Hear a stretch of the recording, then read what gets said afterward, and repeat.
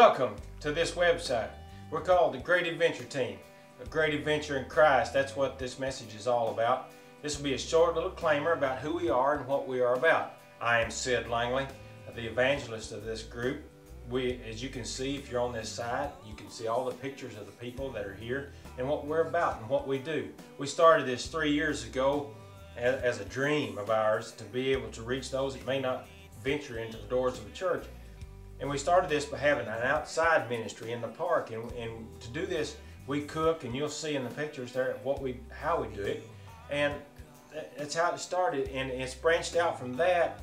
Uh, we started going to churches and holding revivals and holding seminars on how to extend the four walls of your church and go outside and, and to those that are in need. And, and right now in this time in our country, we are in need, and there are people out there hurting and don't know where their next jobs are coming from or their even their next meal.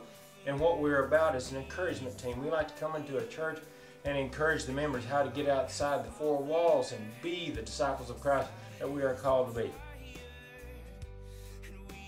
We have all kinds of music. We have contemporary, traditional. Uh, we try to have a format that will reach all ages when we come.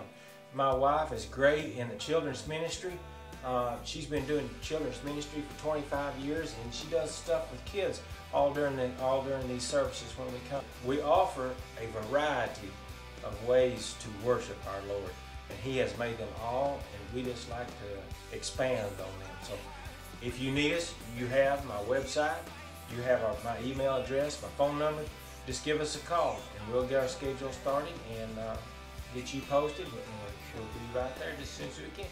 Remember this we could be coming to a church near you sometime.